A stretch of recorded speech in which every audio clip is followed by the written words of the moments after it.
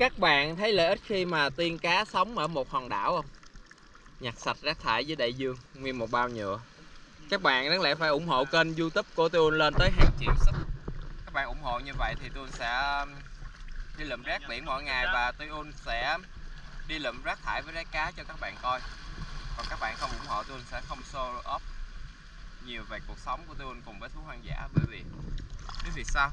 Nó phiền lắm mọi người làm mà không kiếm được đồng xu nào từ youtube. Mà lại bị quá nhiều. Ừ không kiếm được đồng nào bạn ơi. Biết sao không? Mình đăng hình mấy học uh, video clip về trẻ em đồ lên nhiều để mấy cái clip muốn kiếm được tiền đó là phải xóa mấy clip mấy học trò người cá đi. Còn để hình để clip mấy em đó thì không có kiếm được tiền đúng rồi, vi phạm quyền trẻ em á. Nhưng mà thôi, kỷ niệm mình dạy học mấy năm nay nên mình để.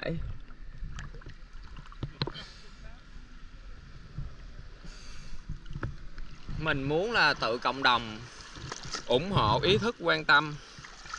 Chứ mình mà chuyển qua kênh khác thì quá dễ dàng.